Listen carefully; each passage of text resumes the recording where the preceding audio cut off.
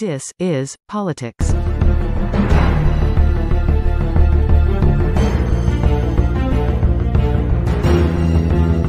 So, as like the saying goes, like know, the possible say you're doing something without a reason.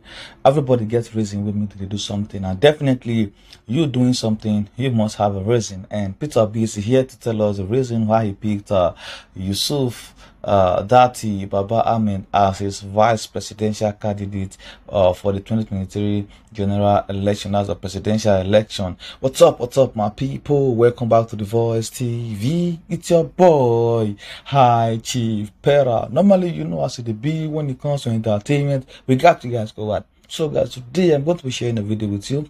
A video, an interview between Peter Obi and BBC when he was asked uh, how he came about the name uh, Yusuf Datti Baba Ahmed. And he explained what he the qualities he was looking for in uh, somebody that was going to become his vice. And he later came up with uh, Yusuf. And uh, just watch the video listen to what Peter Obi said how he uh, defined or how he uh, put everything together just to let us know that this is the reason why uh, Yusuf Datti Baba is the best choice when it comes to uh, being his VP. So just listen to what he said and a big shout out to you guys. Peace. Datti Baba Ahmed.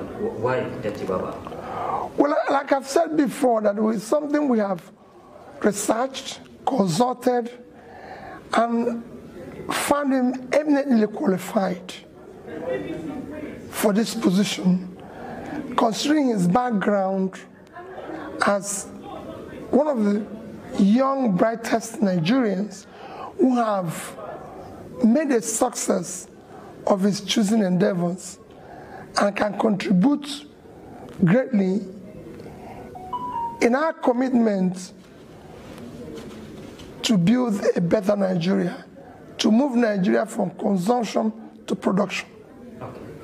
Um, uh, currently, the President Muhammad Buhari was a military officer before. He has said several things during his campaign, including uh, making sure that he's going to end insecurity. You are not a, a, a military, from a military background. How do you intend to tackle insecurity if you succeed? Well, there's um, for me, I don't want us to look at yesterday and today. Those who think about yesterday and today will miss tomorrow. We're talking about tomorrow.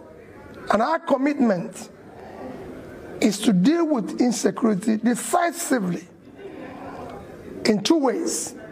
One is to start pulling people out of poverty. The more you pull people out of poverty, the more you reduce criminality. And secondly, to man and provide adequate measures for security agencies to effectively do their work. And we will make sure they do their work. People are worried that some of your uh, base supporters uh, are, are, engaging in a campaign that is not really right, especially on social media. There is a lot of uh, insults and fights. What would you say about that? Well, let me say that those people are not actually and entirely my supporters. They're actually people being, uh, some of them are actually people, people infiltration by opponents claiming to be my supporters or supporters of Labour Party. But let me assure you, I'm running this election as a Nigerian. I don't want people to vote for me because I'm from the Southeast. I don't want people to vote for me because I'm from Southwest, South South, Northwest, Northeast, or North Central. I want them to vote for me because I'm a Nigerian who have the competence to mobilize the Nigerian people into turning around our country. I'm a committed Nigerian. I believe in Nigeria. That's why I said that what I want to do is to secure, unite, and build a productive Nigeria. And I know what to do.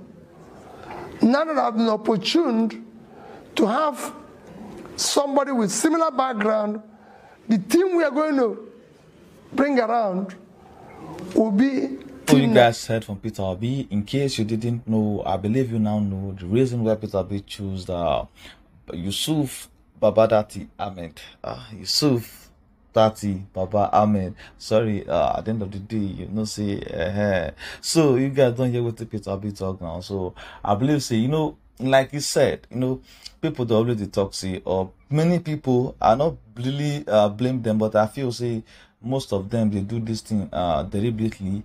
They are doing it because they are looking for a way to uh, tarnish the image of uh, the good people supporting Peter Obi, that's tagging people and Peter Obi's uh, fans or Peter Obi's followers as a toxic or whatever name uh, they are calling them, like uh, Reno Mercury tagging uh, uh, Peter Obi supporters to IPOB, something like that. I believe they're just doing it uh, for for their selfish gain, just in a way to demarcate the whole movement. But like Peter Obi said, those people that are attacking people doing those things are not his fans. These people are, are all the oppositions trying their best to bring the whole movement down. That's all in talk. So I believe you said don't watch the video on your mind on the. Let me know what you think about Peter Obi said and uh the whole stuff. A big shout out to you guys.